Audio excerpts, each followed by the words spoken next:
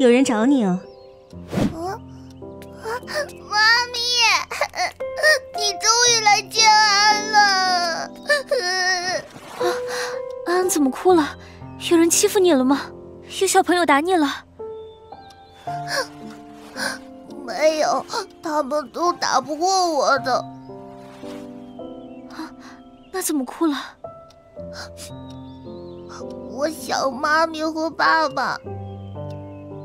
妈咪，糖糖哥说，只有被抛弃的孩子才会在这里。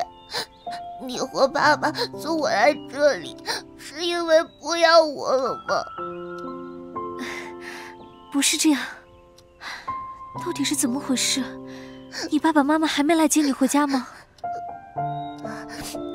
你和爸爸都不来，还有谁能接我回家？带我回家吧，我真的好想你和爸爸呀！我以后都会听话的，你不要丢下我。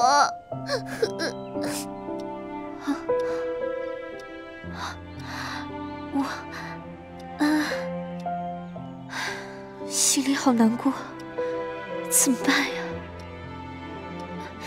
老师，安安的父母如果一直没有来找他，该怎么办？我能收养他吗？如果再过三天，他的父母还没有找来的话，您可以申请收养安安。安安不哭了，我答应你，如果三天后你爸爸妈妈还没来找你的话，我就收养你。真的吗？真的，我一定过来接你。安安，我还有工作，必须先走，但我一定会来的，相信我好吗？那妈咪和我拉钩，三天之后一定要来接我。一定，我一定会来接你的。录制准备，摄影机就位，三、二、一，开始。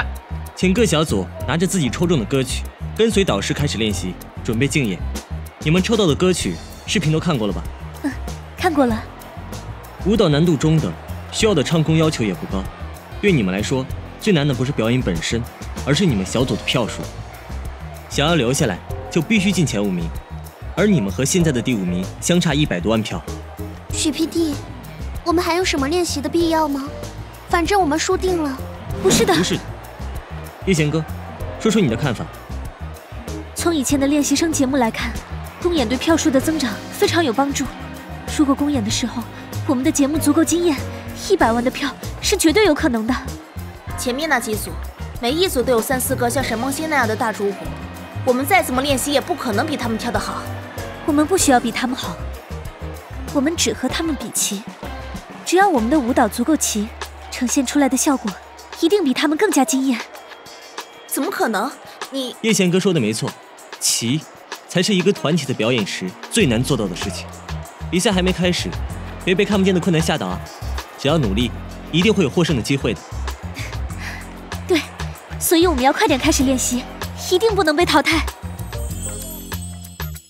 录制结束，辛苦了，你今天表现的很不错，没想到你学舞蹈也这么快。